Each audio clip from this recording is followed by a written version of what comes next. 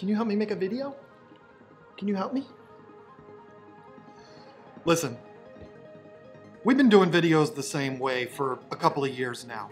The green screen, you know, the presentation, everything's been kind of the same. And we've really been enjoying it, and it's done well for our channel. But I gotta be honest, I'm kind of tired of it. It's time to move on. Today, let's try something a little different. Let me know if you like it. Drone, yes. Microphones, mm, yes, we might need it because it might be windy. Gimbal, no, it's too heavy. Camera I originally started my channel using, mm, no thanks. New camera? Yes, please. Hi, doggies. You're my favorite customer. Sundays are days that I upload videos to YouTube. You're probably watching this on a Sunday. I find myself sitting around obsessing over the numbers about that day's video for hours and it just completely wastes the day. So today, I just got done uploading my video. I'm getting out of here so that I don't do that. Who am I kidding? I'm still gonna check the numbers on my phone.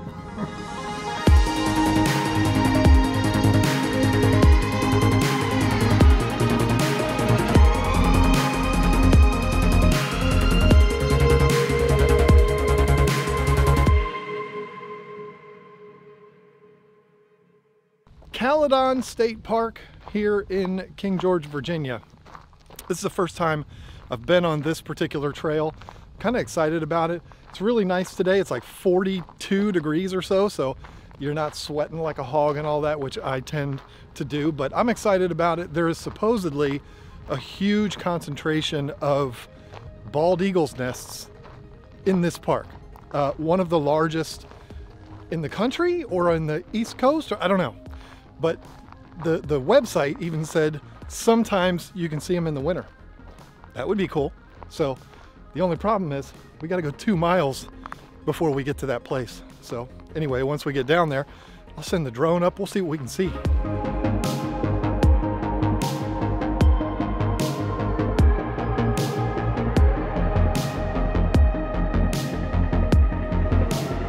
We all know 2020 has been a crazy year. I don't need to explain why. Everybody has been in a completely different world than what they're used to, and most people are locked in their homes and they can't go anywhere, so they're looking for things to do. So this has actually worked out pretty well for the aquarium hobby.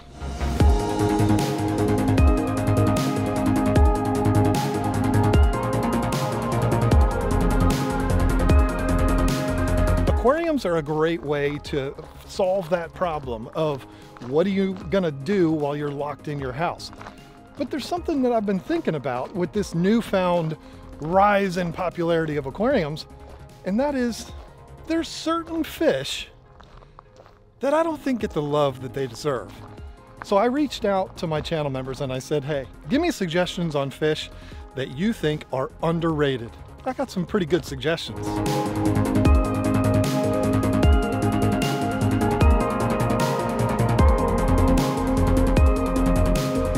Also, don't forget to look for Bubbles in this video. He's gonna be hiding somewhere. It's gonna be a lot of fun because I have a lot of choices of where I can put him. If you're the first one in this video to comment below the timestamp of where Bubbles shows up, we'll pin you to the top of the comment section.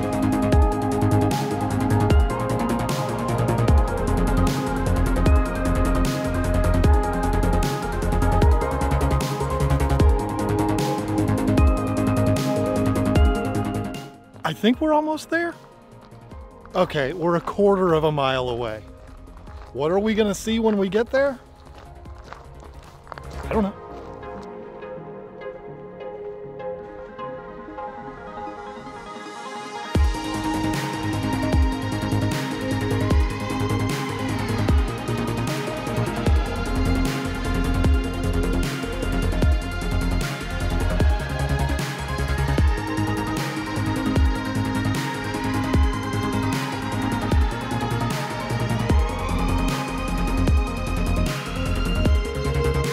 There's a fenced in area that's just fencing in some bricks. I don't know. Looks like some Blair Witch stuff. I had a really good time flying the drone, but there's a lot of people out here on this trail. And I don't know. I still feel weird about recording and people can see me and stuff like that. I don't, I don't know. It's really weird. Plus, you know, there's no bald eagles. I mean, it's wintertime. What was I expecting? But you know what? It just gives me more reason to come back in the summer. But let's get back to the house where it's nice and warm. We can talk about these underrated fish.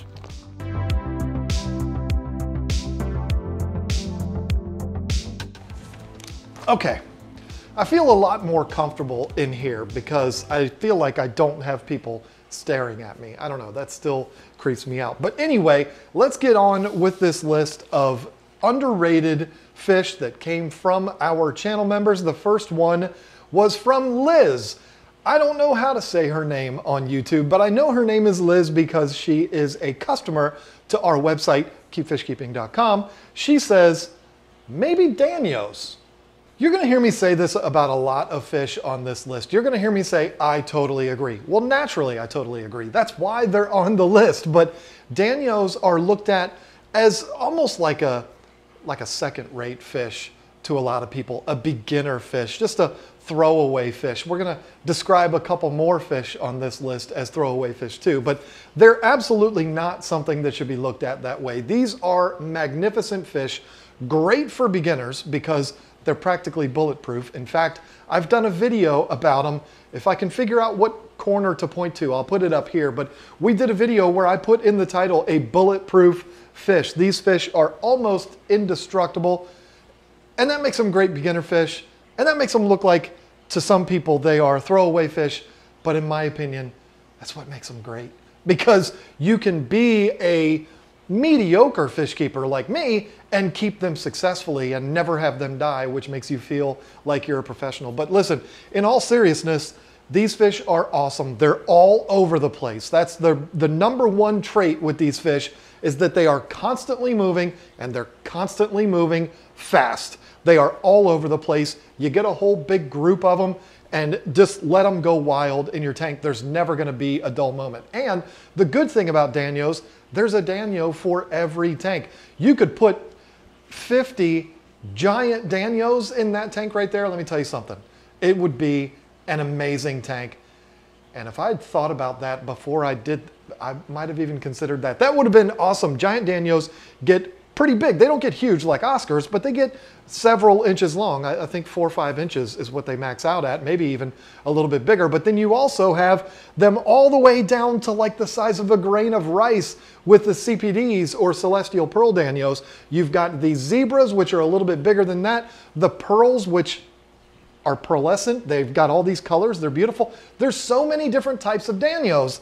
And in my opinion, that along with the fact that they're all over the place, constant activity, practically bulletproof, makes them a great fish, but unfortunately, yeah, they are underrated.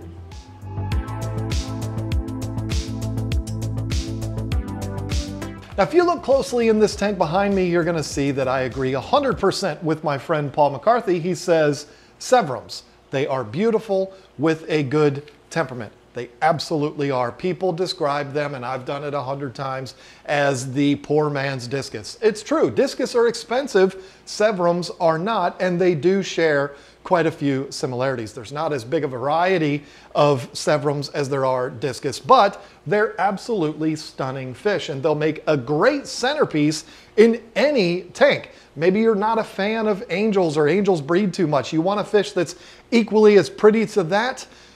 Get some Severums, they'll absolutely do it. Maybe you can't afford Discus, get you some Severums. They may not be to that same level, but they are absolutely gorgeous. My gold Severums, which I don't even know where they are, but they're in there, they are fantastic. They grow very fast. They're easy to keep, mild-mannered, beautiful, not expensive. You don't need a massive tank for them. I've got them in a 360, but that's just because that's what I did. But you don't have to have them in something that big. 55 gallon tank would be perfectly fine for them. You will absolutely love this. These fish, I absolutely agree with Paul. There should be a ton more Severums out there. Where's the other Severum? I think I saw his tail. I think I saw him. there they are.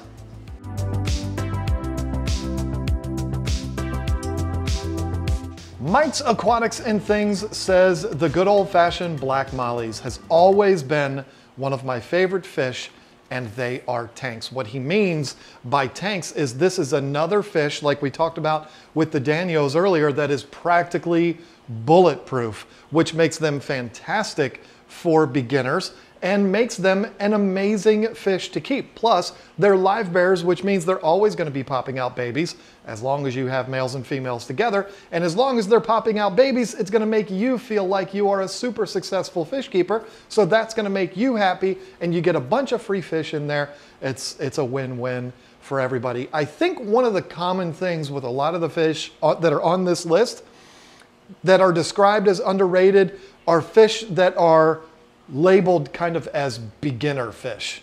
If it's a beginner fish, that means it's uh, poo-poo that fish. It's not that big of a deal. And I think that's actually a disservice to quite a few of these fish, the Danios, the Severums, the Mollies, and all of the fish that we're gonna talk about on this list. They shouldn't be looked at that way just because they are great beginner fish doesn't mean that somebody like me that's been keeping fish for 20, I don't know how many years, can't enjoy them and, and love them just as much as we do any other fish. I love mollies. I have said it a thousand times and I'll say it a thousand more times.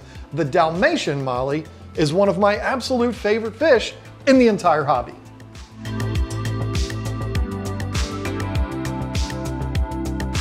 Now Ben Leopold is trying to get some brownie points with me and he says, okay, I gotta believe the most underrated fish is the Oscar.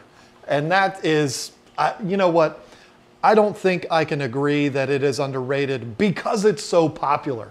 A lot of these fish on the list are popular, but Oscars are one of the most common fish in the hobby. And there were quite a few people that commented on his comment saying, how can they be underrated when they're one of the most popular fish in the hobby? I think what he meant to say was they're not taken seriously. I think that should be the better way of saying it. People don't look at Oscars as a spectacle. They look at them as a fish. And I say, how dare you look at them that way? Look at these Oscars. I don't know where they are. You can barely see them behind me. They are amazing fish. They have unbelievable personalities. You've heard it a million times. They are a water dog, a water puppy. They're, they're unbelievable. If I was to walk up to that tank right now, they think I'm going to feed them. So they go absolutely crazy, it, like dogs do when you walk into the house after a long day at work. It's an amazing thing to see. Not all fish do that. A lot of them do. But Oscars do it big time because they're gluttons and they want to eat all the time. But these are not looked at as an advanced fish. It's like anybody can keep an Oscar, therefore they're not taken as seriously as other fish should be. Are they underrated? I don't know. I don't think they are because they're so popular. But I understand why Ben put these on the list, and there were others too that put this on the list, but Ben was the first one that I saw, so he got included on the list. But there are a lot of people that said Oscars are under underrated, and I think it's because they're not taken seriously. I hope that makes sense.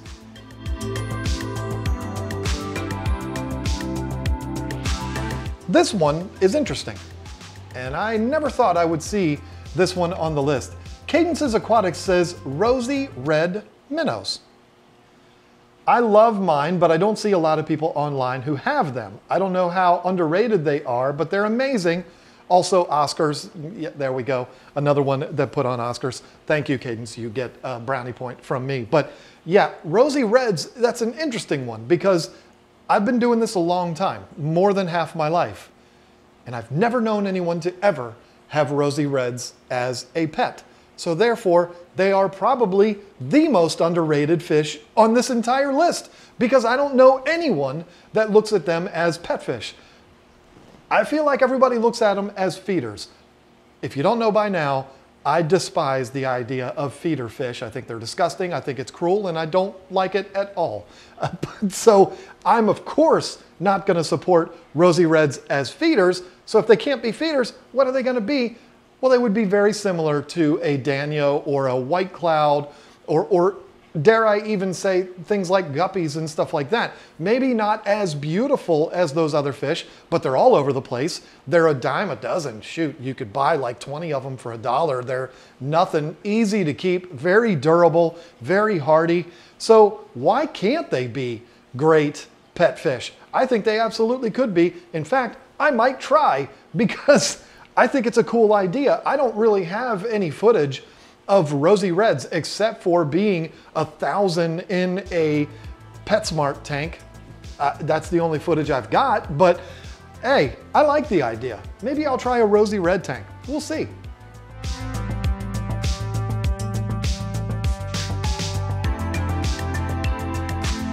This is one I agree 100% with, and of course it is because it's an African cichlid, but Furloughs Aquatics says Lake Victorian cichlids have you seen a tomato hap? I have seen a tomato hap. They are absolutely amazing. And let me tell you a little story about a Victorian cichlid. When we had our shop and we were breeding Africans while also running a fish store, uh, there was a customer that came in and he said, I've got a breeding colony of Pundamilia nyererei. That's how I pronounce it. Would you be interested in having them? And I was like, um, I don't know that there's a huge demand for them. Beautiful fish, but uh, you know, I don't know that that'd be something that I'd be wanting to invest in. And he said, no, I'm not looking for you to invest in them. I want to give you this proven breeding colony of Nyererei. And I was like, well, yes, please. And he brought those in, I don't know, the next weekend or whatever.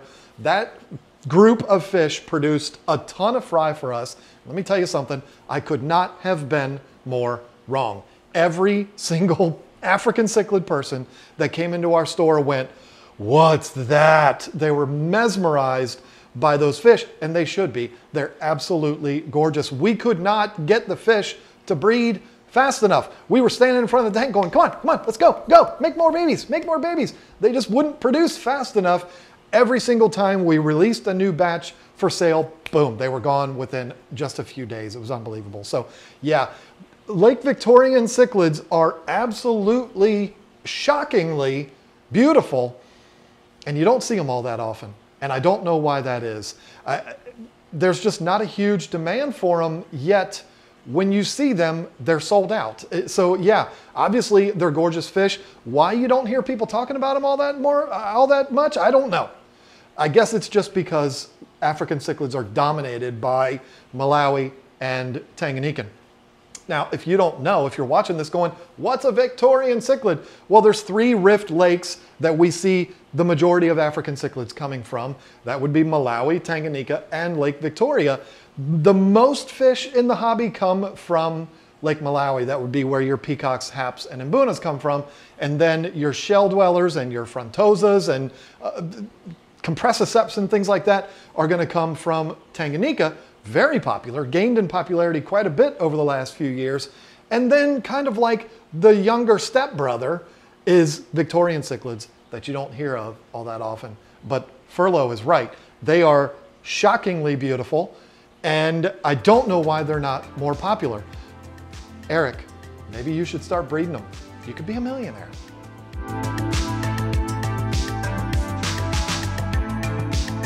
I'm having so much fun with this. I hope you are too. The next one on the list is from my friend Nicole. I, I don't know how to pronounce the last name, so I'm not even gonna try. Snails always working for you.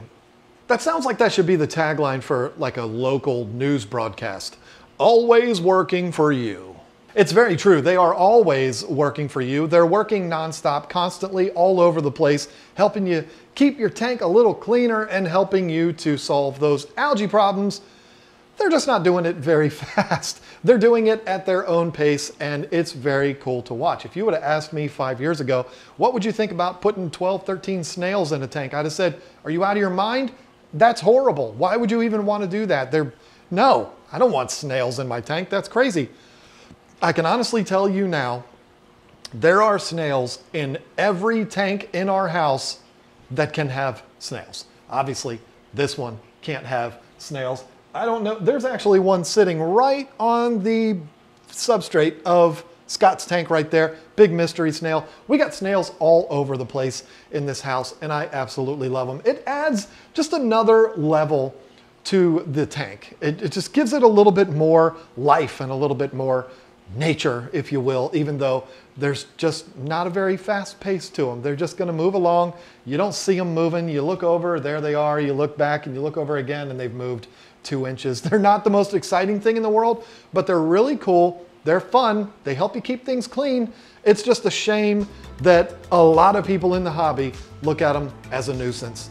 And this would be why I agree 100%. They're underrated.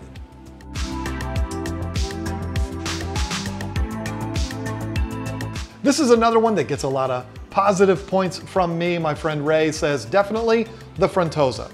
I think they are the kings of any African tank, but they are never mentioned. I love Frontosas too, so I definitely agree with Ray. Yes, this is another one that like seven or eight years ago, they were everywhere. Everywhere you looked, you'd see Frontosas on people's shirts. You'd see, that they were everywhere. Frontosas were the king of the African cichlid hobby.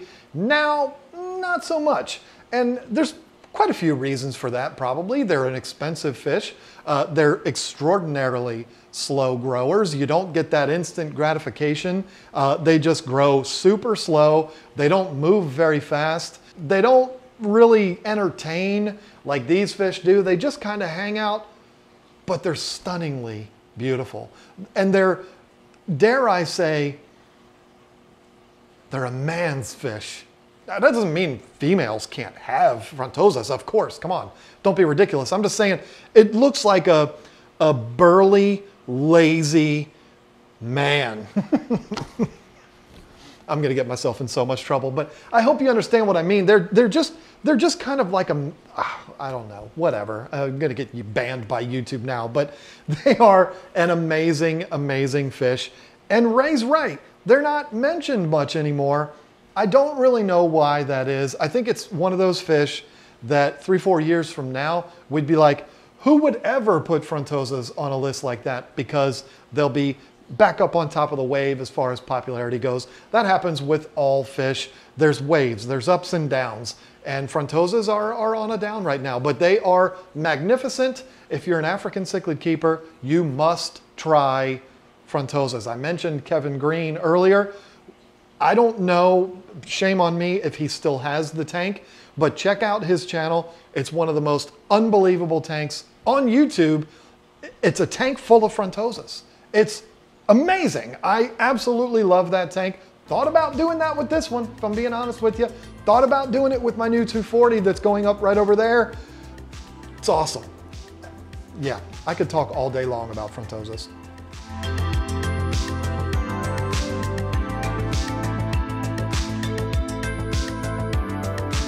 Now here's the first one that's trying to get points from Lisa, and that is, of course, Lefty3213A. He says, female bettas. Of course I agree.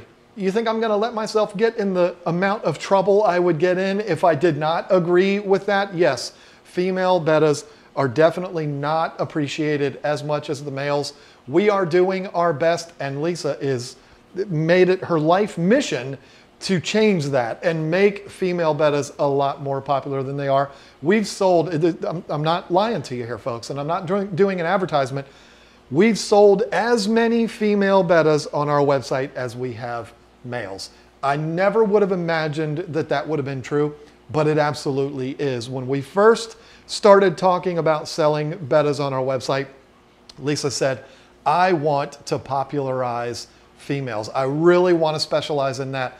And I was like, mm, okay, we'll do whatever you want, honey, but uh, I don't know about that. And boy, boy, was I wrong. they sell as fast as we can put them up on the site. And it's not because we're talking about them, it's because they're beautiful fish. Uh, so yeah, absolutely, 100%. I really hope, like I talked about with frontosas, a year from now, we'll look back and think that's ridiculous that we had female bettas on that. And I hope that Lisa and I had something to do with that, but mostly her.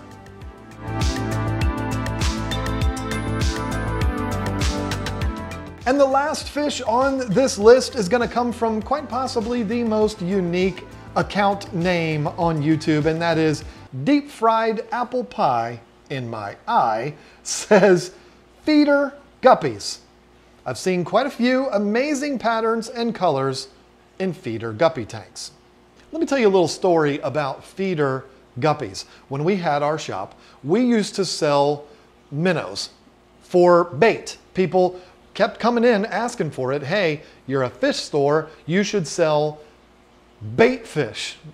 We weren't really into it, but we're like, well, okay, at least they're not feeder fish, even though I guess they kind of are. But anyway, we did it just to basically serve the fishermen in the community because otherwise they would have had to drive forever to get these. So we got them, we had them, uh, but they were seasonal. So we didn't have them all the time. And we would have these two 55 gallon tanks running in the back of our store that when it wasn't fishing time, uh, we would have nothing in there. And so a lady came in and said, I have these guppies that have just been breeding nonstop. I've got so many of them, I don't know what to do. If I scoop out a huge net full of them and bring them in here and just give them to you, will you just sell them as feeders? And I said, I will do no such thing. I'll sell them to people as pets. And she was like, well, they're not all that pretty. I don't think you're going to be able to get any money for them. I said, I'm not going to look for top dollar, but I promise you I'll sell them. And so anyway, that's what happened. She did that. We gave her a little bit of store credit because we're like, hey, we're going to make money off this. We'll, we'll give you a little something. And we sold every single one of those and we sold them at a price I don't know, I think we sold them like 75 cents a piece or something. It wasn't outrageous, but it was enough to where people wouldn't even consider using them as feeders. Little fish that big for 75 cents, I mean, it wouldn't be worth it. So nobody was buying them as feeders, they were buying them as pets. And we sold every single one of them. And she kept bringing them in, kept bringing them in. And it became something that we had all the time in there. And deep fried apple pie in my eye is absolutely right. There are some amazing fish in there. Sure, they might not be those elite level fluffy guppies that people pay $100 a pair for, but they were nice looking fish and easy to keep fish. Plenty of activity, small, you don't need a huge tank all of the best things about guppies, they had them too. And it's just awesome. So yeah, Mr. Apple Pie in my eye, I agree. Don't feed feeder guppies. That's just, ugh.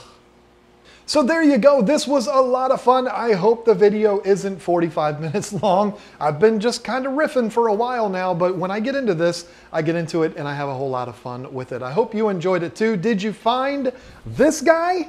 Hopefully that didn't make too much noise in the microphone. Did you find him in the video somewhere? I think I did a pretty good job hiding him. He's dancing a little bit, but he's in there. Uh, it's kind of hard to do what I did, but if you found him, put it down in the comment section. Make sure you're the first one to do it. And if you are, we'll pin you to the top of that. And you can always look at it and say, yay, look, I won, even though you didn't really win anything. You just get to see your name at the top. But who knows? It's a lot of fun. I tried real hard to hide them in a good spot. If you didn't see them, watch the video again. Start it from the beginning. I'm just giving you a hint. And you'll find him somewhere. And then let us know in the comments. Are you enjoying that? I think it's a lot of fun. I want to keep doing it as long as people keep enjoying it. So there you go. Thank you so much for watching and I look forward to talking to you again next week. I wish I could tell you what we're going to talk about, but I don't know what it's going to be. But we'll talk next week.